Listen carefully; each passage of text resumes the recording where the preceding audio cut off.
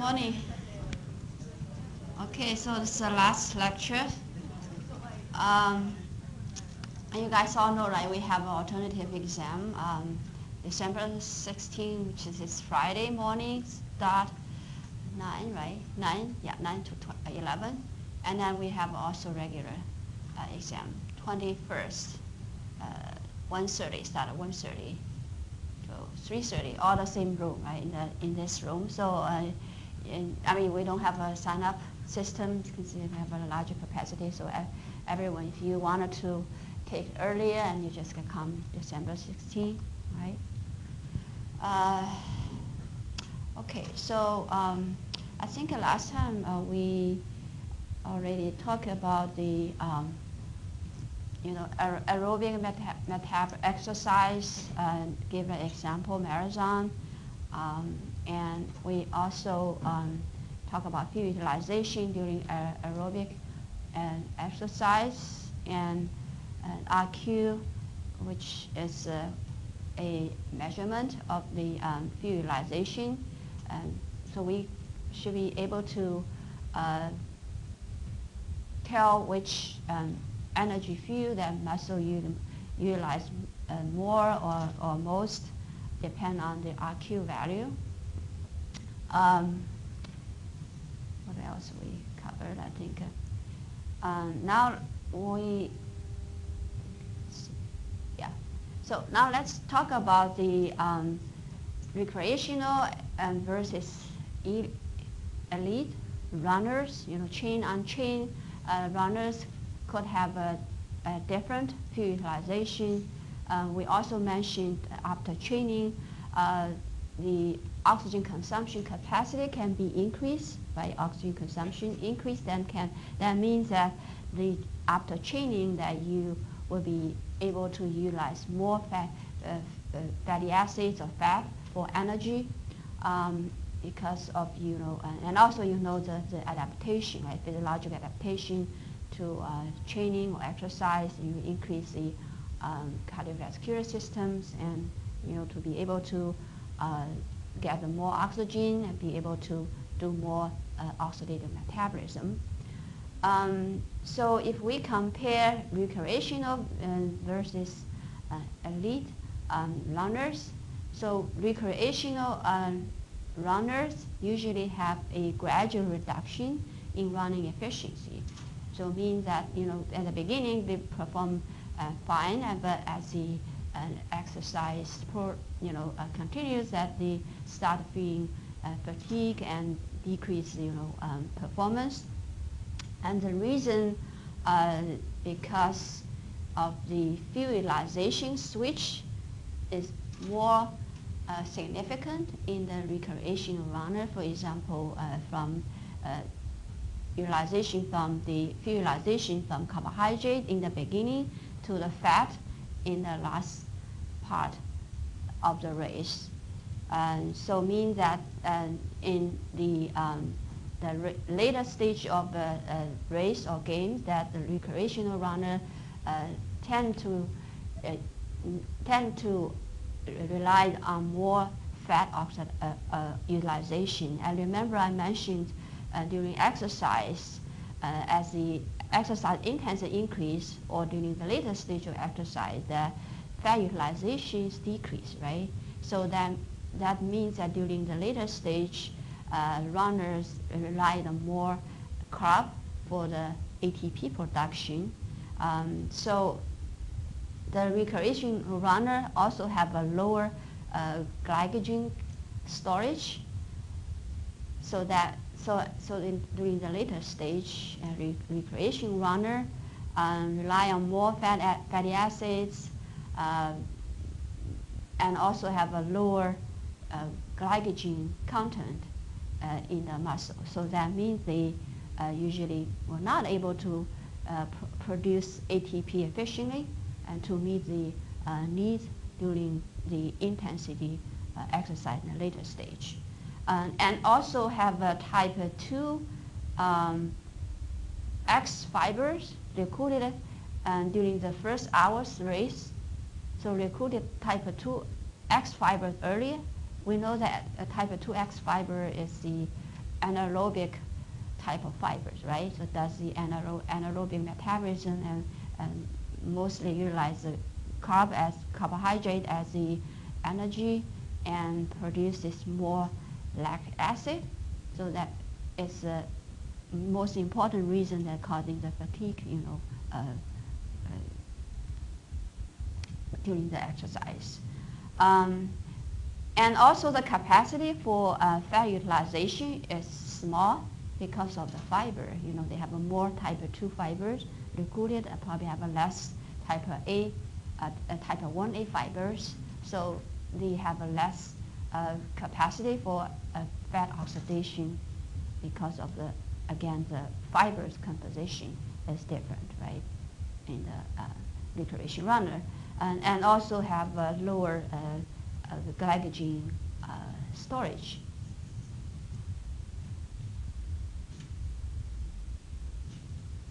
And elite runners, and compared to recreation runner, um, usually have a, a gradual, um, the gradual reduction in running efficiency is kind of small. To mean that the, uh, you know, be able to uh, be efficiently running and throughout the whole period of exercise time. Um, so they be able to constantly use a fuel mixture uh, with, be able to use both fat and carbohydrate as the energy and with less uh, significant switch of uh, fuel utilization during the uh, entire period of the race, right? So, um, and because of, we, we mentioned you know, after training that you can increase the, uh, you know, oxygen uh, capacity, consumption, oxygen, oxidative capacity, to be able to uh, utilize the uh, fatty acids as energy fuel during the later stage of the race. And also have a higher uh, capacity um, for the fat oxidation, right? They you know, have a high, um, the blood flow into the muscle, um, you know, the, the, better the cardiovascular adaptations, so can increase oxygen delivery to the um, muscle and increase um, oxidation, right? So fat oxidation, um, and have a less lactic acid produced um, during, particularly during the first hour of race, because of they have a less type 2 X fibers, fibers are recruited, right? So this um, slide uh, just give us some in, uh, information uh, about uh, fuel utilization uh, between chain and unchained runners. Um, and a couple of things are, are different.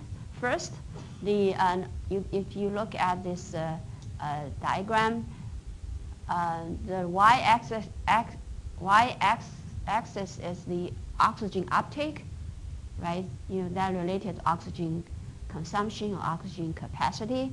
So uh, chained runners have higher oxygen uptake or higher oxygen consumption or higher uh, oxidative capacity compared to unchain, right? Um, and because of, you know, the cardiovascular adaptations. And we're going to talk about later, you know, other adaptations uh, also occur in the muscle that will all increase the oxygen uh, oxidative capacity in the muscle. and secondly, the, um, in terms of the uh, fuel utilization, uh, if you can see here, the unchained utilize more carbohydrate, less fat as energy during the exercise. Uh, for example, 75% um, of energy actually um, comes from the carbohydrate, right, oxidation, um, uh, utilization, and only 25% from the fat.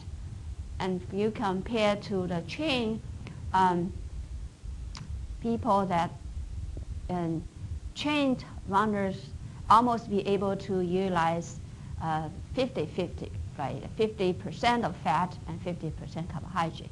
So chained um, runners are able to utilize more fatty acids as an energy fuel, which is very important, particularly in the later stage of of race, right? So, so more utilize, utilize more fat, fat to allow uh, them be able to save the glycogen and for the use at the later stage of exercise, right? So this is very important. And then the uh, second and then last thing is that the uh, the metabolism of glucose is also quite different. Uh, in the unchained uh, runners, the glucose mostly uh, be partial oxidized through the glycolysis pathway and produce a more lactic acid, which causes the fatigue, right, and the affect the performance and of the exercise.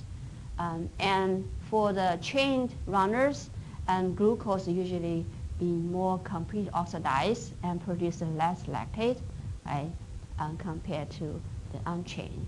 So for this kind of reason, you can see that the, um, you know, the chained runner can perform better because of the, you know, the fuel utilization is different, um, particularly fat utilization is increased in, in chain runners and um, increase the oxygen delivery and uptake delivery and oxidative capacities increase and also um, that leads to more uh, glucose go to the complete oxidation and less um, lactate, lactic acid produced.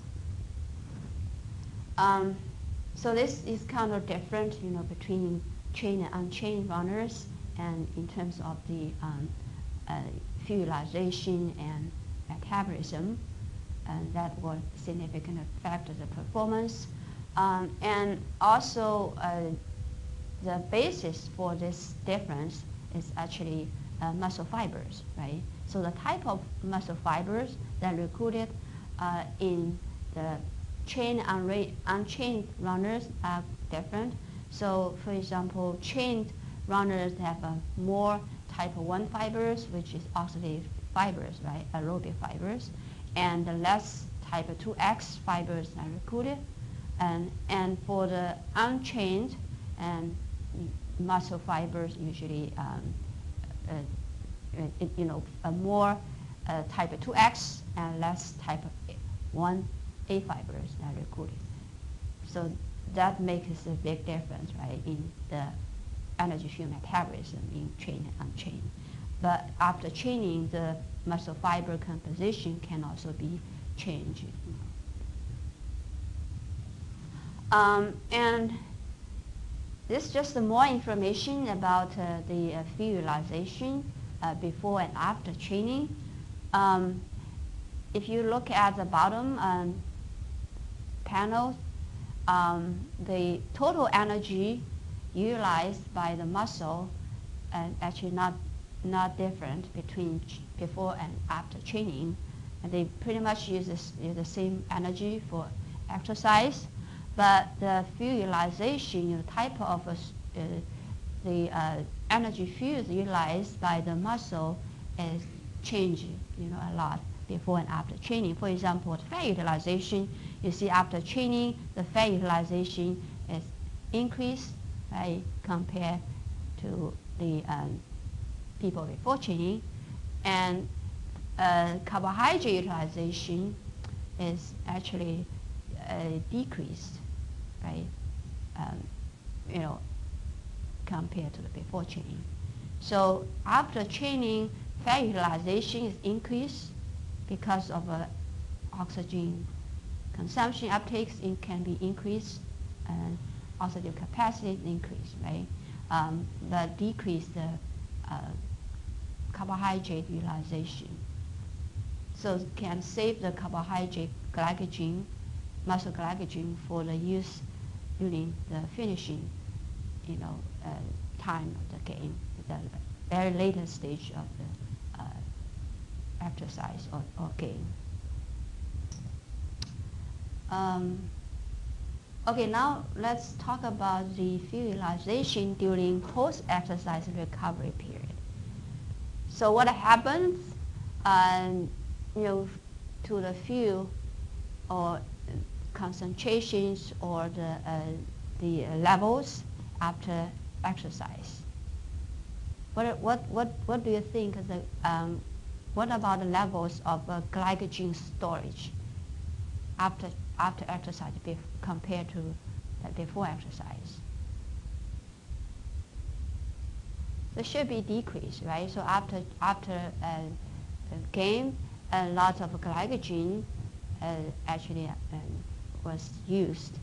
Um, so you have a, almost have a um, depletion of uh, muscle glycogen. So muscle glycogen is depleted after uh, exercise, and also the glucose fatty acids, um, you, you, know, during the exercise are taken up by the muscle for use, use energy. Um, and insulin sensitivity in muscle is increased. That means so um, the glucose uptake should be increased into the muscle during you know, after exercise, uh, which is very important, right? So the main goal uh, of our body is to re, uh, rebuild glycogen store, right? Glycogen store in the muscle is very important, is the, is the main uh, goal after exercise. So insulin sensitivity increase is good. You can push more glucose into the, into the muscle and to, for the synthesis of glycogen.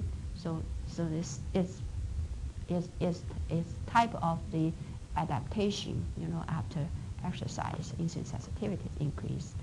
Um, and what is the major source of the fuel uh, that be used during the first eight hours recovery? Recovery, even uh, you know we give a um, high uh, carbohydrate meal. What do you think? The, what is the priority our body is to do in terms of a fuel utilization? you know, what about the, uh, the, the, um, the major, major fuel utilized by the muscle after exercise or in the first 18 hours recovery period, even we give them, you know, very high carbohydrate diet. Fat, right? Oh, you already said that. Sorry, I didn't get it. So fat, all right. So why we why why would body use the fat even we have a lot of carbohydrate available, you know, after exercise? We wanted to rebuild glycogen, right? So we spare the glucose um, for the glycogen resynthesis. So during this early period of recovery time, that our body tend to use more carbo, um, sorry, more fat as an energy fuel and save the gl glucose for glycogen synthesis. So, so in order to do this, the um, glucose oxidation and pyruvate dehydrogenase activity uh, all decrease. So then allow the body to use less glucose, right, for energy. I, I mean, uh, yeah, and, and glucose be, again, the safe for the glycogen resynthesis. Um, and in addition to glycogen uh, depletion, we also depleted the uh, intracellular, uh, intramuscular um, triglyceride levels, right? But you also use a lot of triglyceride for energy during exercise. So we also need to, replenish the uh, intracellular triglyceride triglyceride in, in the muscle. So this will uh, happen within the 48 hours of recovery period. So we need to rebuild glycogen first, which can be finished during the first 24 hours, and then we also need to re rebuild the uh, triglyceride right, within the 24, 48 hours recovery. Um, Okay. Now let's talk about anaerobic metabolism. So anaerobic metabolism, we know that is the uh, you know very short period of time and high intensity, right? Um, type of exercise and requires a lot of energy in a very short period of time, for example, 10 seconds for the 100 meter sprinting. This type of exercise um, happened very quick, quickly and you know in very short period of time. Um, and that means we need to, uh, why this type of exercise is anaerobic we explain a little bit of reason, right? Because you know, in this very short period of time, oxygen will not be able to quickly deliver to the muscle to increase uh, oxidative metabolism. Um, so the so the question is how is ATP uh, generated for this uh, immediate use, you know, uh, during this short period of time? So of course, one is the most important thing is we need to use the intracellular, intramuscular fields, right? That already been inside of muscle cells, so can be immediately used for energy, um, and not the uh, energy field from the other sources.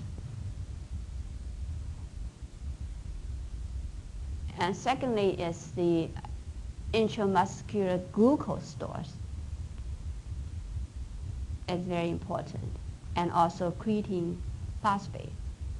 So again, the aerobic, anaerobic metabolism utilize intramuscular glucose and uh, creatine phosphate.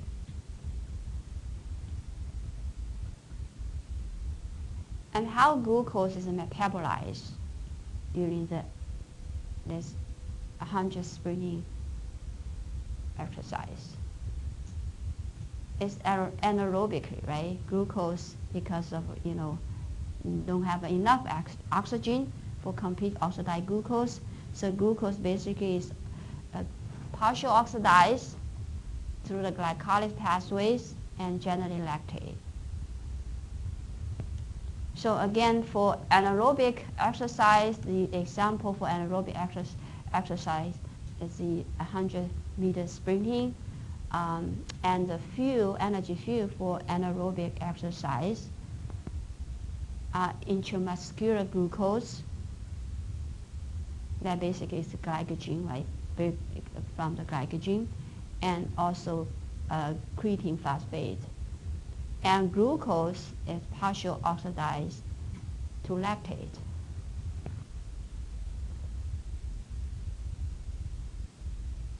Uh, here a, a couple questions. So is fat the main fuel for ATP production during anaerobic exercise? It's not, right? Because again, you know, not enough oxygen for oxidative metabolism for oxidized fatty acids. Second question, uh, does liver glycogen store affect ATP production in anaerobic exercise? Liver glycogen for example, compare one person have a higher uh, liver glycogen store and the other person have a lower uh, liver glycogen store. Do you think that will affect the must, I mean the anaerobic exercise? No. Question, the answer is right. No, because um, glycogen breakdown from the liver and then deliver to the muscle also requires time, right? It will not going to happen within the 10 seconds. So liver glycogen will not be the important sources of glucose for um, the anaerobic exercise. And muscle glycogen store, of course, affect ATP production, right, in aerobic exercise. And, and creatine phosphate levels in the muscle also affect the ATP production and aerobic exercise.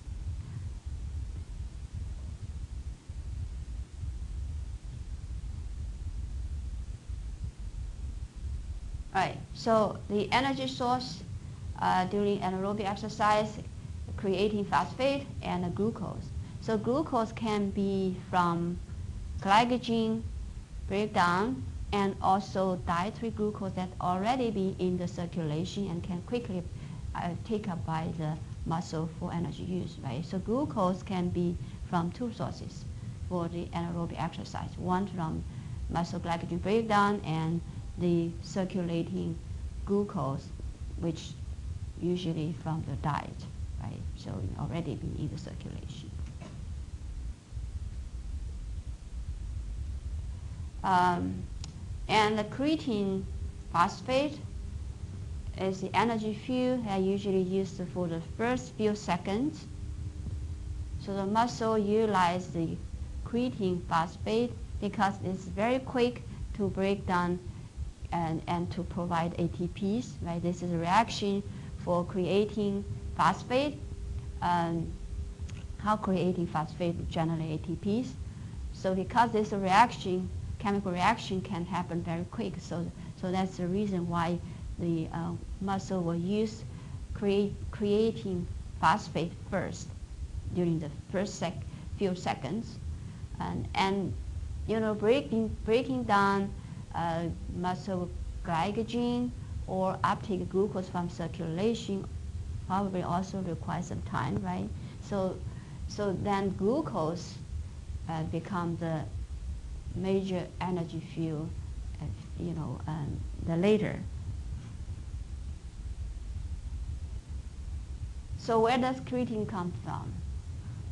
Um, I don't think you guys need to remember this whole reaction process, but just just you know that the um, amino acids, uh, arginine and, and glycine, and are the two amino acids that are used for synthesis of a um, creatine, right? So creatine basically is synthesized in the body uh, from um, arginine and uh, glycine uh, in the liver, pancreas, and kidney. And once it's synthesized, then it's transported to the muscle and stored in the muscle. And creatine can also be um, obtained from the from the diet you know, certain type of food and also have higher levels of creatine. So, um, you know, like salmon and tuna, beef also contains some, you know, creatine, uh, can be the sources of uh, creatine.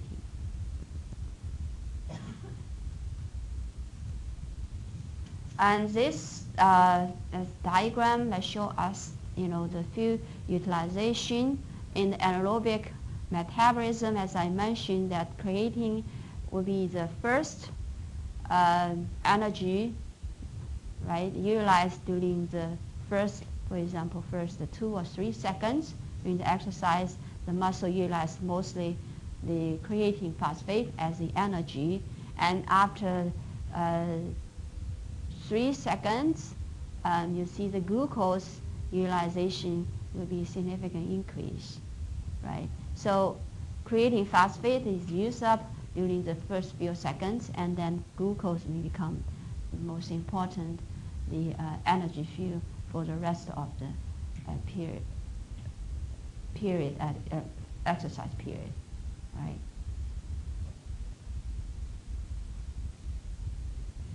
Um, and glucose is metabolized anaerobically in the um, muscle during anaerobic exercise you see, and this you guys already know, right? You know, glucose being um,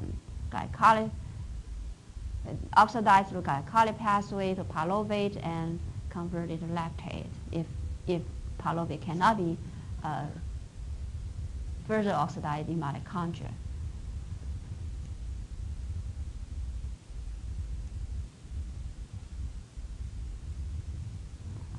Right, muscle adaptation in response training. So we mentioned that training is very important, can increase oxygen um, consumption, uh, increase the um, exercise effect utilization, right? Um, so here are a couple of things that can can be changed after training, which is very important. Uh, connect to the, um, the performance, the better performance. First is the cardiovascular adaptations. After training, that uh, can increase the cardiac output, increase gas exchange, exchange, so increase oxygen uh, you know, uptake. And it's also increase capillary density in the skeletal muscle, so you have a more, more uh, in, you know, the blood vessel in the muscle, so will allow the more um, blood being flowed into the muscle. So that will help the, uh, increase the uh, oxygen delivery. So all these um, cardiovascular adaptations can increase oxygen delivery to the, to the uh, skeletal muscle. And the second important thing that happens inside of the skeletal muscle is the mitochondria unit, the mitochondria number has also increased. We know the mitochondria is very important, right? So you, you have to, if, in order to do the better um, oxidative metabolism, the cell, cells have to um, have a higher oxygen levels and also higher uh, mitochondria numbers, right? So be able to uh, increase oxidative metabolism, increase beta oxidation of fatty acids, and so that will uh, allow muscle to increase, increase uh, uh, reliance on the fat utilization, right? To be able to utilize more fat as energy, and, and so that will again, you know, um, decrease the reliance um, on the carbohydrate utilization, particularly during the, you know, the uh, later stage of uh, exercise. Um, and that will also reduce the lactate uh, production.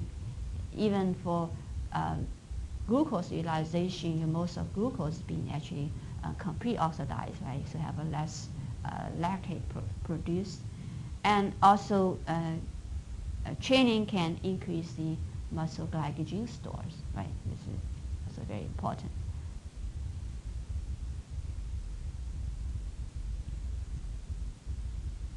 Uh, all right, so now let's talk about the carbohydrate loading. Um, we mentioned earlier that the uh, carbohydrate store, the, the, or glycogen store is very important. So um, that can affect the performance, right? Because the later stage, you know, uh, muscle uh, really need uh, you, you utilize the uh, carbohydrate, glucose as energy because of the fat utilization decrease.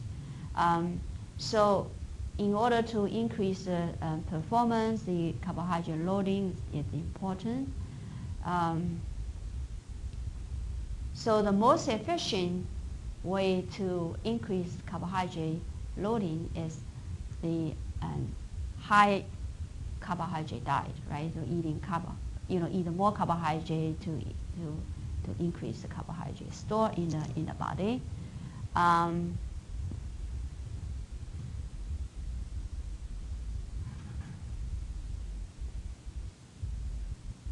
yeah.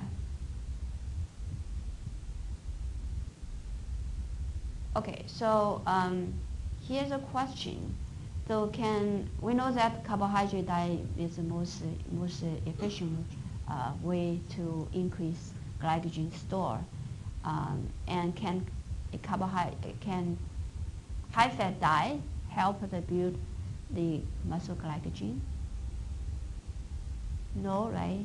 I think its answer is no. So let's look at the um, the, the, the evidence, right? So some people did the experiment to prove that whether uh, which type of diet is the most efficient for the uh, carbohydrate loading or for increasing carbohydrate, uh, uh, uh glycogen uh, stores. Um, so I think in 1967, a group of scientists did an experiment to make sure that how much carbohydrate is needed for increasing the carbohydrate store or glycogen store. Um,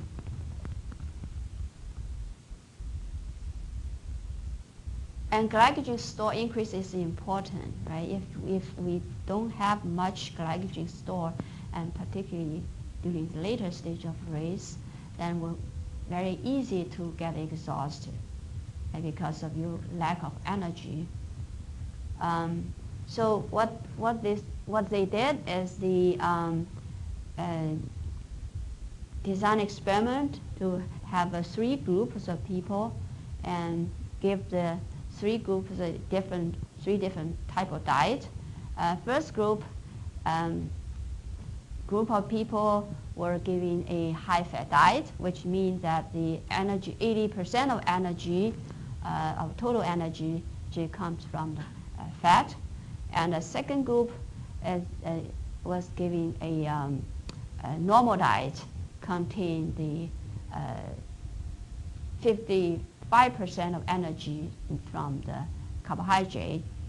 Uh, and the last group is a high-fat diet, uh, sorry, high carbohydrate diet contains 82% right, energy uh, that from the carbohydrate. And here's the result. So you can see that um, black bar represent the high-fat diet group, and red uh, is the normal diet group, and green the high carbohydrate diet group. Um, and x-axis is the, uh, the muscle glycogen levels, so how much glycogen we able to store in the, in the body after a three, I think uh, the three days, yeah, three days experiment, right? We fed this different type of diet for three days and then look at the um, muscle glycogen levels in two different, in, in three different groups of people. And the y-axis is the uh, time to the exhaustion um, so you can see the high-fat diet group have a less um, muscle glycogen stored, I only about like 90 gram of glycogen be able to store after three days of uh, feeding. Um, and it's very easy to get exhausted, right? You know, like 50, 60 minutes, um, the exercise and be able very easy to get exhausted. And the normal diet um, group be able to get the uh, about uh, 200 or 180 um, gram of uh, um, muscle glycogen and exhaust, uh, time to exhaustion about uh, um, 111 minutes, right? Um, and last group, the high carbohydrate diet, you can see can increase significantly, right? The um, muscle glycogen are kind of you know, around 400 gram um, glycogen, and the time to exhaustion significantly increase. So you can, you know, exercise for uh, about three hours, then you start to feel exhaustion. So, so this uh, ex experiment give very clear, um, you know, evidence that the high carbohydrate diet definitely is the most efficient diet that can significantly increase the glycogen store, right, and reduce the exhaustion time. So um, this is very important to improve the performance.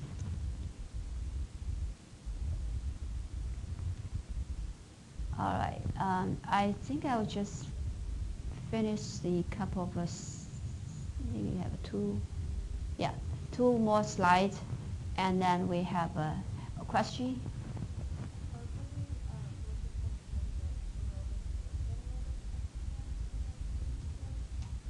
Uh, you mean the, uh, yeah, yeah, yeah, for, for glycogen, uh, I mean store, yes.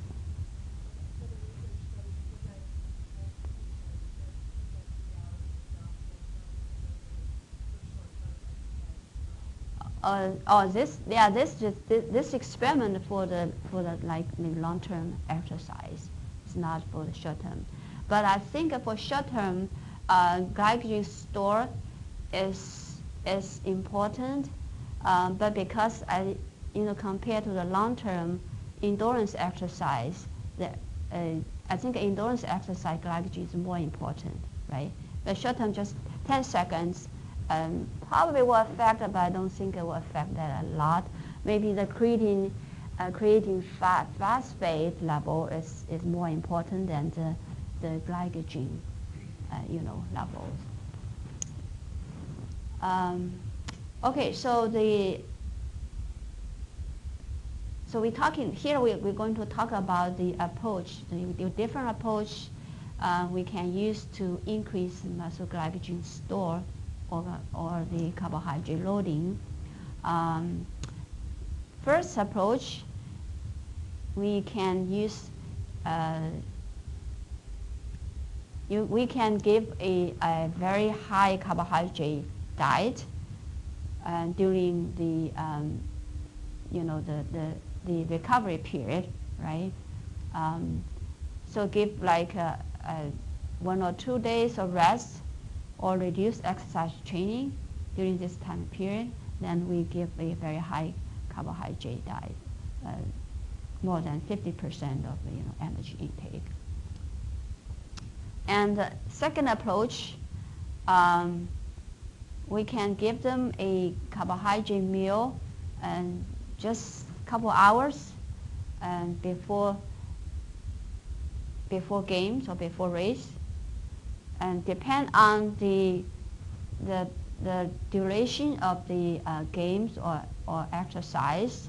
So if type of an exercise or game less than two hours, then we usually give a, a carbohydrate that are more like digest digestible. For example, we just give kind of a sport drink so that you know we we can get glucose quickly from the diet and be able to utilize during the uh, exercise, right? So if the game uh, is longer than two hours, uh, then usually we can give them like solid, uh, you know, product like a bread or banana or energy bars. So um, that because this uh, solid product will will little bit delay in terms of digestion absorption, right? So you'll be able to get glucose into the circulation into the body. So, so this is the second approach that we also can give the carbohydrate diet just a couple hours before the uh, game. And the third approach, um, we also be able to give the carbohydrate during the race, during the um, you know the exercise. For example, during cycling and marathon running, and we we also can you know drink like energy uh, a, sport and a, a drinking, right? Mm, any questions about the? I think it's pretty straightforward, right? And some other type of uh, um, exercise, you know, kind of combination, you know, inter, intermittent, uh, intermittent uh, high intensity sports, you know, combine the low intensity exercise and repeated the uh, short distance uh, sprint, sprints, you know, this kind of type of exercise, we also can give a, a carbohydrate containing drinks, you know. Um, the purpose of this, we can save some, again, you know, um, gly- muscle glycogen, right? And for the last couple of, of minutes or, you know, the, uh, uh, the force, force speed sprinting at the end of the game or something like this, you know, just try to, um, you know, allow the uh, body to have a more muscle glycogen at the end of the game, which is very important and needed for the uh, finishing, right? The, um,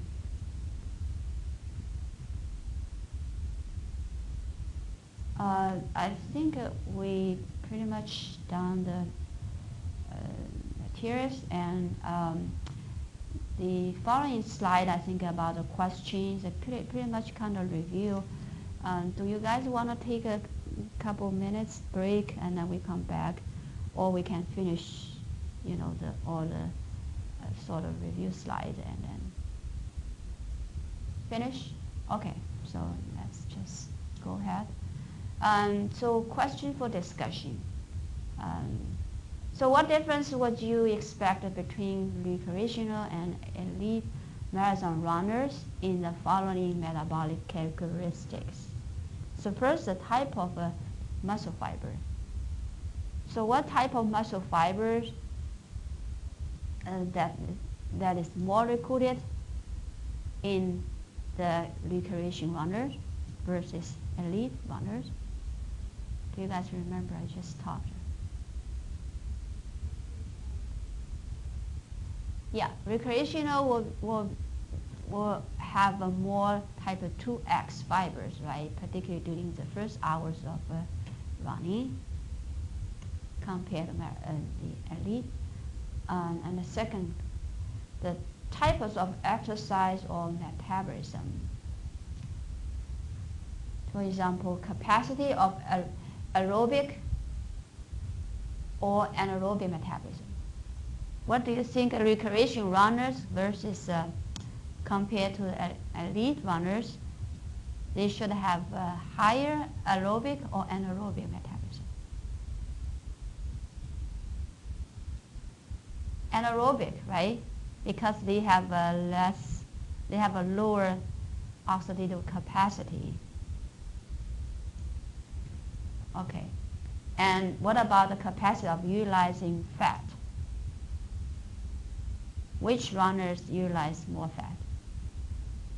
Elite right runners, because they have a higher oxidative capacity, so be able to utilize more fat. And in terms of production of lactic acid, which runners produce more lactic acid? Recreational runners, right? And because they more tend to be more anaerobic you know, uh, metabolism, so produce more lactic acid. And muscle glycogen content, which runner type of runners have a more glycogen stored. Elite, right, have a more glycogen stored. Okay, so next slide.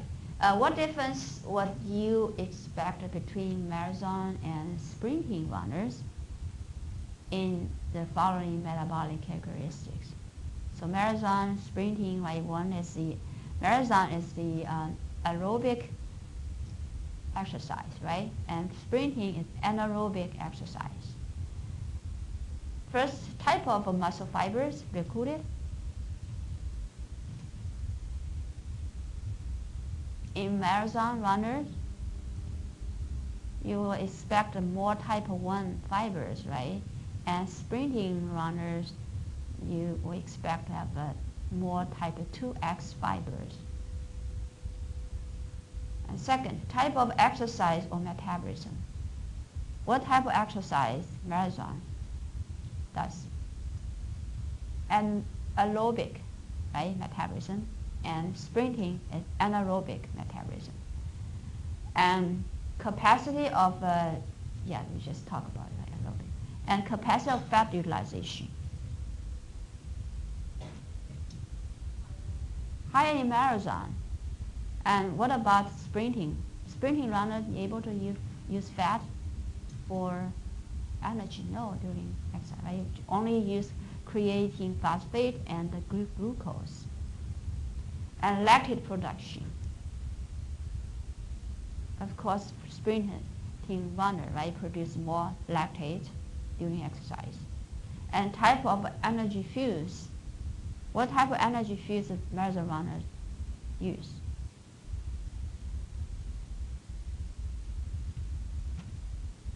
Both, right? You know, carbohydrate and fatty acids. Um, and we also mentioned during the early stage of running for marathon runner, uh, utilize more carb, right?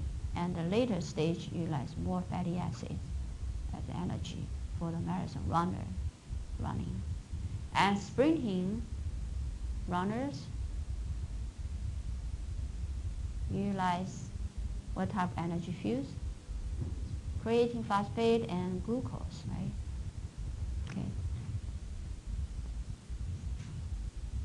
And what type of diet recommended prior to competition for both marathon and sprinting? Carb, always carbohydrate, right? For both. Okay, now the next slide. Uh, what is the average of increased fat oxidation due, sorry, what is the advantage of increased fat oxidation during exercise? What is the advantage? Yes, thank you. So just want to spare glycogen store, right, for the later, for the use during the later stage of exercise. And next question, what are the benefits of endurance uh, training? How does skeletal muscle adapt to endurance training?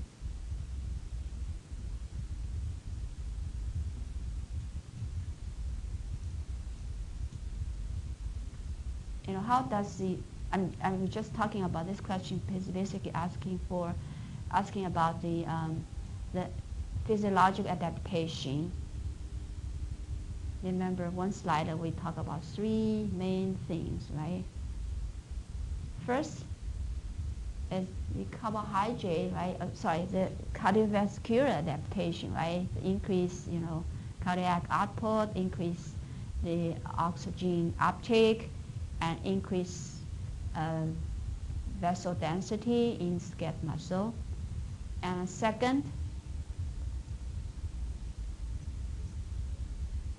increase, yeah, type 1 muscle and, and mitochondria numbers, right? Type 1 we know is uh, uh, oxidative fibers have a higher mitochondrial content, right?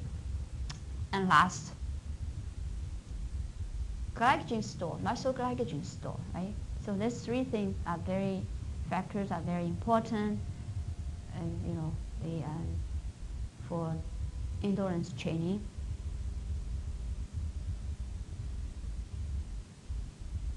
Okay, so next, next question. Where do fatty acids come from during aerobic exercise?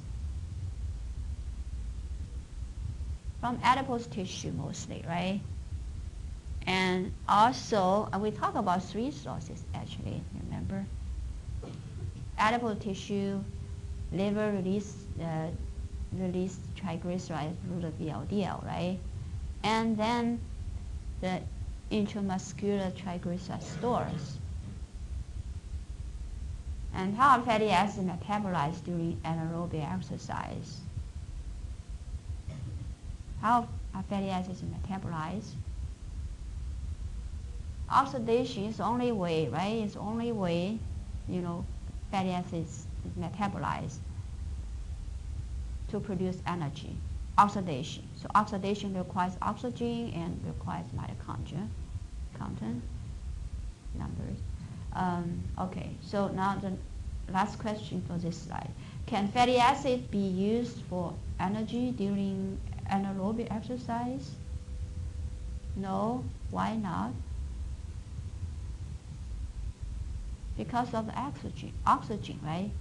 So not able to deliver quickly for the oxidative metabolism.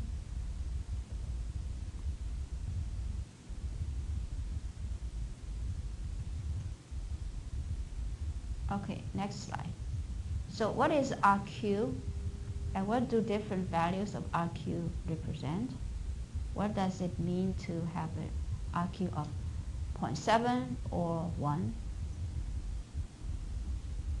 Remember it's RQ. So RQ is a way to measure the fuel utilization. So based on the RQ values, we are able to tell what type of energy fuel the skeletal muscle use during exercise. So what, what the um, 0.7 RQ means to you It's fat, right? So if muscle utilize 100% of fat, the RQ is 0.7 and 1 for 100% um, of carbohydrate utilization. So, okay, next question. So what would you expect the RQ to be for an elite runner after two hours of running compared to a recreation runner? a little bit complicated, right? So um, first of all, you need to thinking, uh, you know, compare the RQ value between recreation and uh, elite runners. What do you what do you think the RQ value will be? Which runners should have a higher RQ value? Recreation runner should have a higher RQ values, right? Why? Yes, because recreation runner have a lower capacity capacity to utilize utilize fat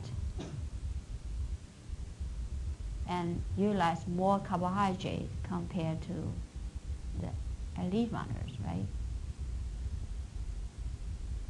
So for this question, that if the recreation runner have a 0.8 and or 0.85 RQ and elite runner should have lower or higher, less than less than 0.8, right?